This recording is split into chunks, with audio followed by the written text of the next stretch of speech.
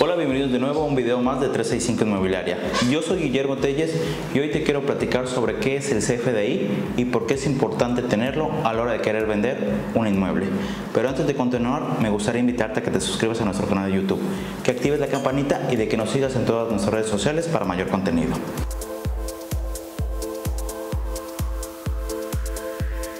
¿Qué es el CFDI? El CFDI es el comprobante fiscal digital por Internet. Este es un documento legal que ampara una transacción comercial. En este viene detallado el producto o servicio, al igual que el desglose de los impuestos de acuerdo a las decisiones fiscales del SAT. Este comprobante, o también llamado factura electrónica, consiste en dos archivos, el XML y un archivo en PDF, el cual debe contener un sello digital y la cadena de día, fecha y hora de emisión. También debe contener toda la información de la factura. A partir del 1 de enero de 2014 se inició la vigencia de la nueva ley del impuesto sobre la renta. Por lo tanto, toda casa, propiedad o inmueble que fue adquirida durante el 2014 en adelante, de acuerdo al gobierno federal, debe de contar con su CFDI o factura de la operación de compraventa. Si tú quieres vender una propiedad y no cuentas con el CFDI, se tomará la cantidad de un peso como el precio de adquisición de la propiedad.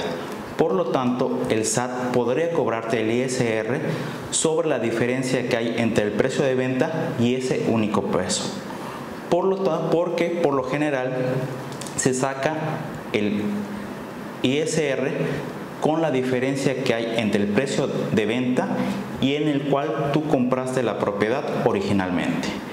El ISR puede ir desde un 1.92% hasta el 35% del total de la diferencia, por lo cual te podría costar mucho dinero.